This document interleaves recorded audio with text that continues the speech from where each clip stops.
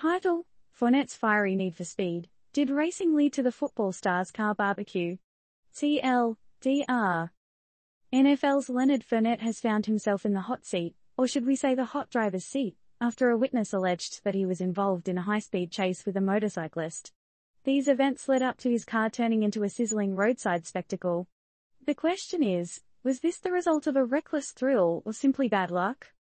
The roads of Florida have become a stage for an unexpected spectacle, NFL player Leonard Fournette's car transformation into a firework, and not the kind Katy Perry sings about. A witness has spilled the beans, claiming Fournette's black Dodge was seen acting more like a speed racer's Mach 5 than an average commuter vehicle on the I-275. Allegedly, the speed thrill turned sour as Fournette's car became an impromptu bonfire on June 27.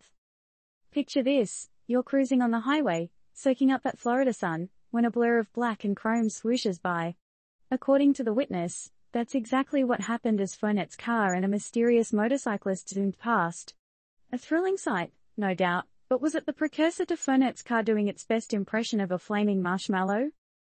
The witness stepped forward shortly after Fournette's vehicular cookout was revealed, describing a scene that would have Michael Bay scribbling notes for his next action flick. So, what led to Fournette's car's dramatic pyrotechnic performance?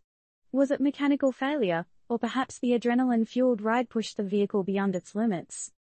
Just to be clear here, folks, no one is advocating for racing on public highways, the speed racer fantasies should be kept strictly to the gaming console.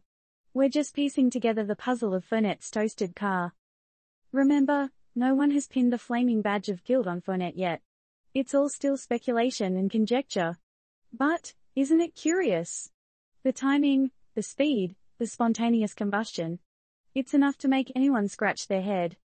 So, as we eagerly await the development of this blazing tale, we're left with one burning question, no pun intended, was Fournette's need for speed responsible for turning his car into an unrequested barbecue pit, or are we all just getting roasted in a coincidence? This isn't an episode of Mythbusters, so we won't be making any conclusions here. What do you think, readers? Did high speed chase plus car equals? Was there a flame-grilled disaster waiting to happen, or was this just a freak mechanical malfunction, as rare as a unicorn sighting? Share your thoughts below.